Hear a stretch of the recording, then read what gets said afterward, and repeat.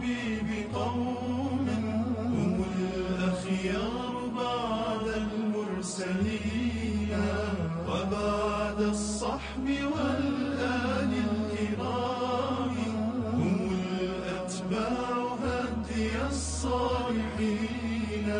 فخذ يا سامعا صوتي مثالا وردد عن فعال التالي. بسم الله الرحمن الرحيم. كان التابعون يعرفون قدر الأم محمد بن سيرين من أعجب الناس في معاملته لأمه. كل عيد كان يجمع مالا ليشتري لأمه ثيابا. وكانت الأموال عزيزة عندهم. يعني ما كانوا عندهم ذاك المال. وكان إذا كلم أمه كأنه يتضرع.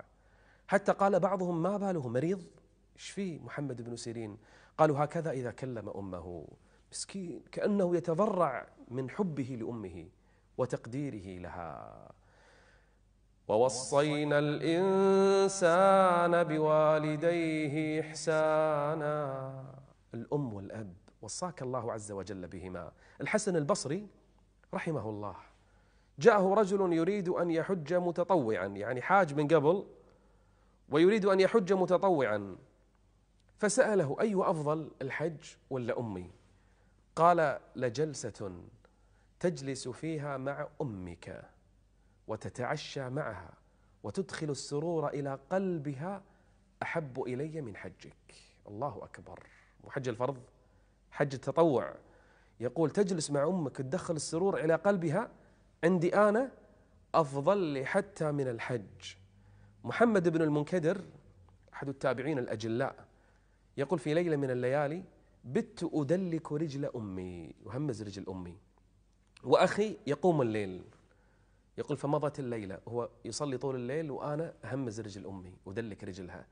يقول والله لا أحب أن ليلتي بليلته. لو تبادلنا ما أحب. إما يبلغن عندك الكبر أحدهما أو كلاهما فلا تقل لهما أف ولا تنهرهما. وقل لهما قولا كريما واخفض لهما جناح الذل من الرحمة. وقل رب ارحمهما كما ربياني صغيرا. فخذ يا سامعا صوتي مثالا وردد عن فعال التابعين.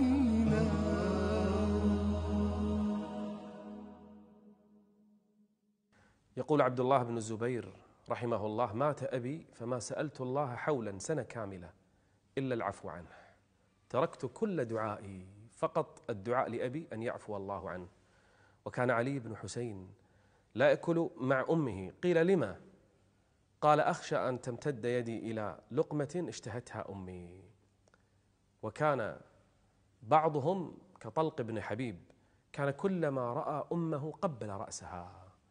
وكان لا يرقى سطحا ما يركب على سطح أمه تحته. يعني لو أمه في البيت ما يركب بالسطح. ليش؟ كرامة لأمه. إما يبلغن عندك الكبر أحدهما أو كلاهما فلا تقل لهما أف ولا تنهرهما وقل لهما قولا كريما واخفض لهما جناح الذل من الرحمة. وقل رب ارحمهما كما ربياني صغيرا.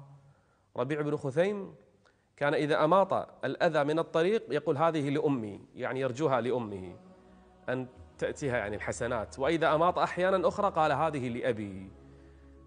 ويس القرني ما الذي منعه أن يهاجر إلى رسول الله ويصحبه؟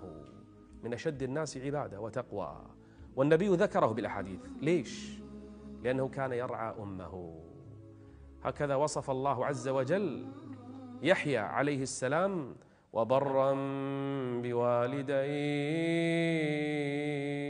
وبرا بوالديه ولم يكن جبارا عصيا. التابعون الصالحون في ذلك الزمان كانوا من أكثر الناس برا بآبائهم وأمهاتهم لأنهم الصفوة. ضياء الكون يا صحبي بقوم